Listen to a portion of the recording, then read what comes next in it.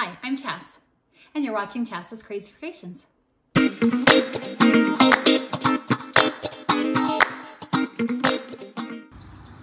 Today I'm going to have a little fun with a walkway to our front door.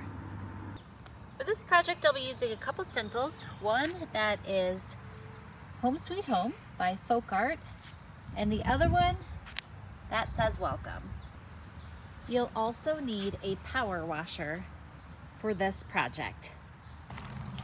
So the first thing I need to do is screw my hose into my faucet so that it's ready to be used.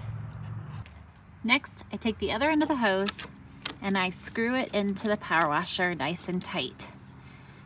So both ends of my hose are now connected. Next, I need to unwind my power cord and plug it in. So for me, the big plug's not gonna fit in here, so I am gonna just plug an extension cord in here. So this happens to be an indoor-outdoor plug, and I am going to take this plug and I'm going to just push those two together and I should be set. So this is a nice vinyl stencil, so it will hold up to the water. Paper stencils won't work. And I'm gonna start by placing the stencil onto the ground. Now, you could use something simple like this and just do it in the center of your walkway, or you can use a design and go all the way across the entire length. It's really up to you. Next, I turn on the water so that it's flowing to my power washer. I'll be turning my power washer on and it will get quite loud, so I'll be doing that in a moment. So next you need to figure out how to make your stencil hold still. So you can stand on it while you're doing the project. Um, you could put bricks or rocks on it to hold the project, like something like this. But you're gonna need it to hold still while you're power washing it. So you can test whatever you like for that and tape most likely won't work because once it gets wet, tape won't stick. So I've got my stencil in place and now I'm gonna hold it still and I'm gonna go ahead and power wash away.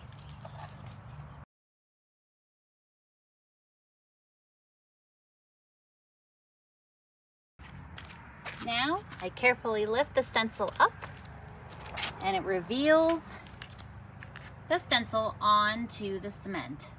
Now I'm gonna continue doing this to my front sidewalk.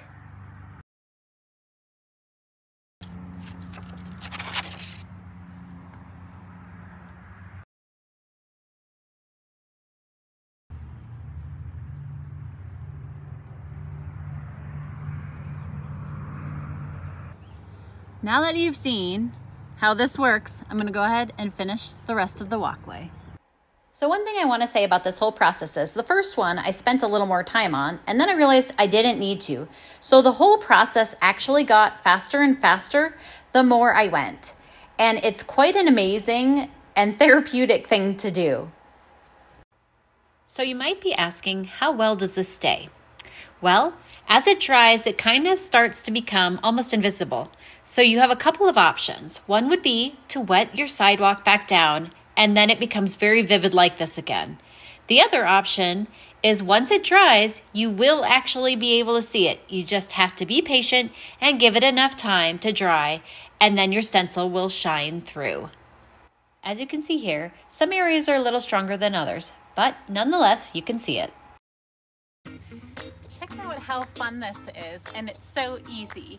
And this could be adapted to make a patio rug, your walkway, maybe on your porch patio. Just fun to create these designs and think about the possibilities with all of our celebrations, whether it's birthdays or weddings or showers or any occasion, you could do this and create this lovely welcome to anyone coming in your home for that celebration. And I hope this inspires you to stencil some concrete of your own with this easy technique. I'd love it if you subscribe to my YouTube channel and my blog at chascrazycreations.com. Thanks for watching, and I'll see you in my next video. And don't forget to like, share, and subscribe.